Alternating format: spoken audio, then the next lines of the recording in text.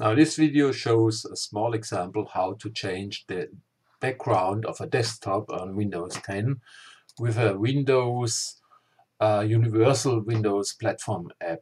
So in uh, Universal Windows Platform app there's a small code on Microsoft uh, or examples, let's say like examples, a basic uh, base code.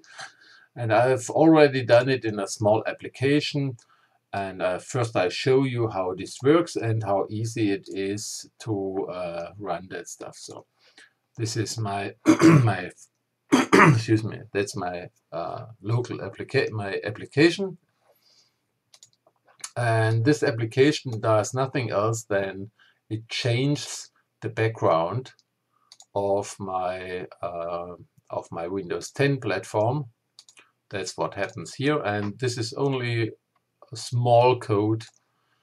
I show you now that code.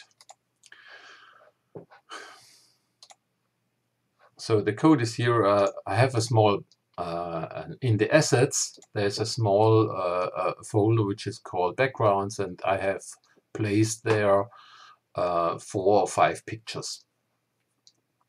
And on the front side, I have here on my uh, main page XAML uh, all what I did there. I placed there five buttons and those five buttons have the event uh, button on click.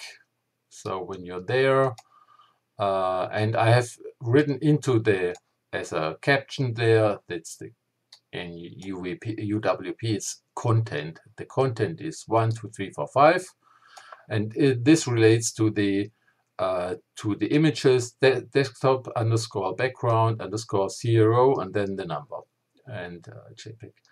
And now we have the click event. Click event is button on uh, button click. So when we go to this uh, event, I've said I said there, uh, give me from this event, give me the sender. The sender is the button, and from this button I need the content. So this is the uh, 1, 2, 3, 4, 5. So this is the number of the five, five uh, file uh, of, of that button. And now I uh, inserted this um, wallpaper example. Uh, for this example, we had to I had to add the using system user profile. So this is necessary for the for setting uh, on the background. Uh, then we have the tasks which, which is necessary for uh, async file uh, loading and then the storage which is the file itself.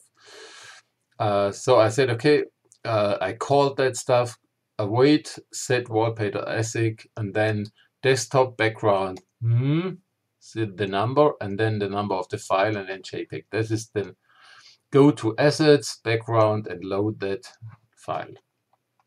Now we come to the uh, to the method itself. This is an async task, so that's uh, uh, async. As if you know how to write an async task, it's quite easy. You type async task, and then here's the uh, result or bool in this case. Then we say, okay, this is the name, and here's the file name.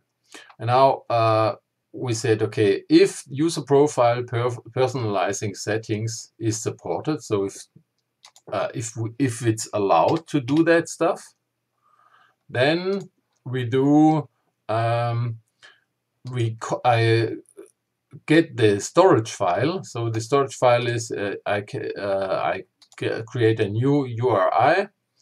Say uh, this is from the base URI, so this means this is the base the base application, then the assets folder, backgrounds folder, assets folder, backgrounds folder, and then the file. So I load the file, uh, get file from application URI async. So load it as async.